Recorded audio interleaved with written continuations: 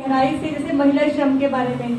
Sir भी हमेशा बात करें तो मेरे को लगता है कि ना महिलाओं के साथ ज़्यादा से ज़्यादा बात करने की ज़रूरत है। तो मैं जो अपने काम में लाऊँगी महिलाओं को ज़्यादा जानने की कोशिश करूँगी कितना जान सकूँ। और मुझे खुद में काम करने की बड़ी ज़्यादा ज़रूरत है। हम जैसे जायदाद की बात कर रहे हैं महिलाओं का हिस्सा लेना हम कहीं ना कहीं आप बैठ के डिस्कस तो कर रहे हैं लेकिन क्या मैं अपने माँ बाप से मांग पाऊँगी जायदाद में हिस्सा? क्योंकि हम चार बहने एक भाई है। और काफ़ी संपत्ति है मेरे माता पिता के साथ। लेकिन वो झिझक और डर मेरे को अभी भी है कि मांग पाऊँगी कि नहीं पा, पहले मेरे को अपने में बदलाव लाना, चीज़ों के बारे में सोचने का। और सोचना और सीखना दो अलग चीज़ें हैं, लेकिन उसको लाइफ में थोड़ा ना इम्प्लीमेंट करना, उस पर दो अलग चीज़ें हैं। तो मैं मैं थोड़ा अपना मूल्यांकन भी करूँगी कि मैं चीज़ों को कितना बदल रही हूँ।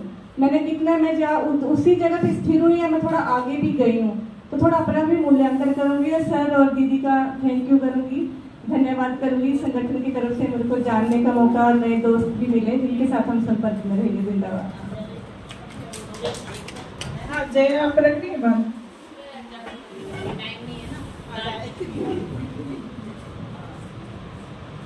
बहुत सारी चीज़ें तो पहले से पता थी लेकिन गहराई से समझ पाई और सबसे ज़्यादा एक बहुत मतलब लगा मेरे को कि हम जिस काम को काम नहीं मानते थे तो आज मुझे समझ आया कि जिस काम में मानसिक और शारीरिक श्रम हो, वो कोई भी काम है। चाहे वो घर का, आज हम यहाँ बैठ के है ना, बैठ के हम कुछ समझने और सोचने ये भी हम श्रम ही कर रहे हैं। तो एक एक लेटी कि कोई काम मतलब सभी काम हमारे काम ही है। हम उसको किसी भी डब्बे में नहीं बांट सकते कि ये काम है और ये काम नहीं है। और दूसरा, एक जो आकुशल वाला जो शब्द आया था कि आकुशल काम और कुशल काम क्या है, उसमें भी थोड़ा लगा कि आकुशल काम तो है ही नहीं, क्योंकि अगर आकुशल होता तो हम वो काम कर ही नहीं पाते। तो आकुशल वाला शब्द शायद हम भी अब बहुत कम अपने संगठन में और अपने साथियों के बीच में रखेंगे कि आकुशल काम काम नहीं है। का सारे काम काम ही है। बस धन्यवाद। तो और बचा है गुरु?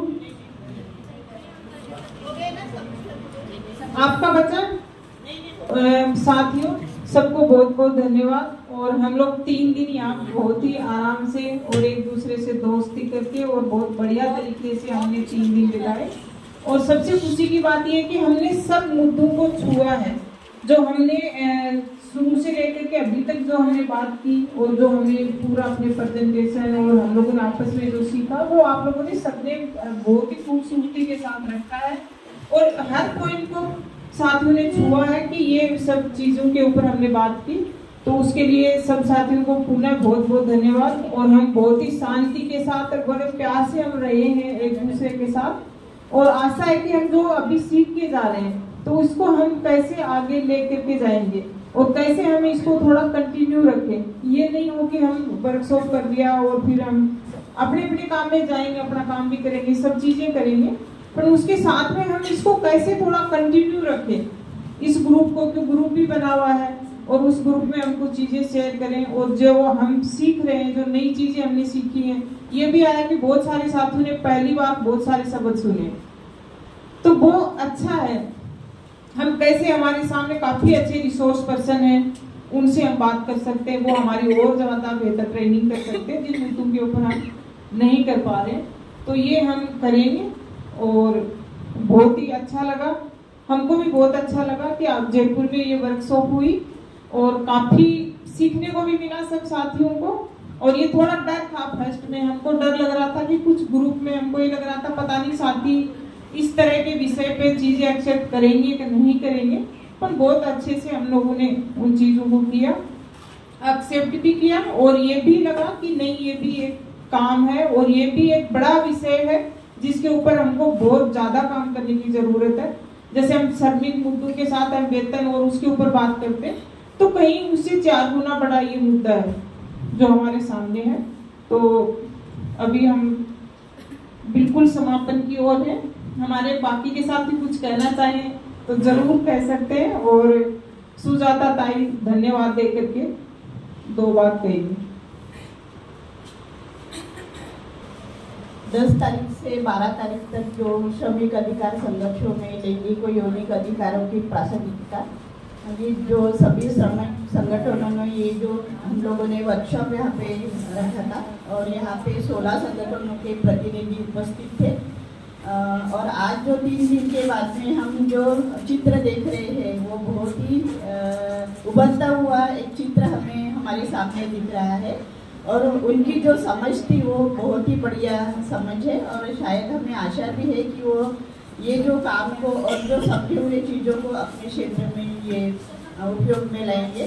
ये तीन दिन के लिए हमारे जो साथी, खासतौर पर ये प्रशिक्षण चलाने के लिए आए थे, वो खासतौर पर मनीषा तई बॉम्बे से आए थे। उनका भी मैं यहाँ पे शुक्रगुजार हूँ। दूसरे हमारे साथी सुजाता तई यहाँ आए थे अ, गोटसकर उन्होंने भी हमारे महिलाओं के जो मुद्दे हैं उनके ऊपर बहुत अच्छी जानकारी हमें दी। स्वाति तई यहाँ पर आई थी। उन्होंने भी हमारे महिलाओं के मुद्दे कैसे जुड़े हैं और श्रमिकों का उसमें क्या हिस्सेदारी है इसके बारे में हमें जानकारी दी। सुभाष जी लोमटे आज यहाँ आए। उन्होंने भी अपनी बात यहाँ पर रखी।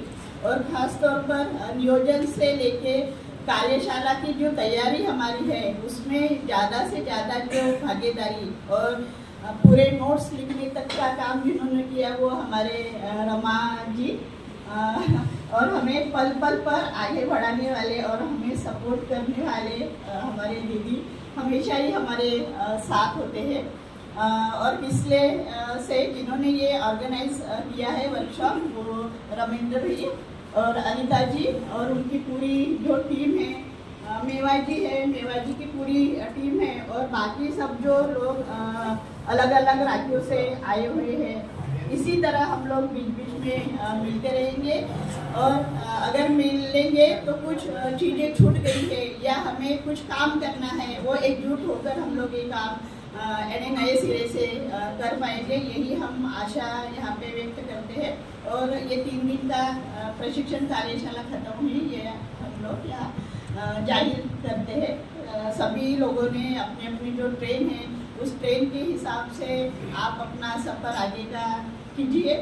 और ऐसे ही मिलते रहे, बात करते रहेंगे यही मैं आशा व्यक्त करके यहाँ समाप्त करना चाहूँगी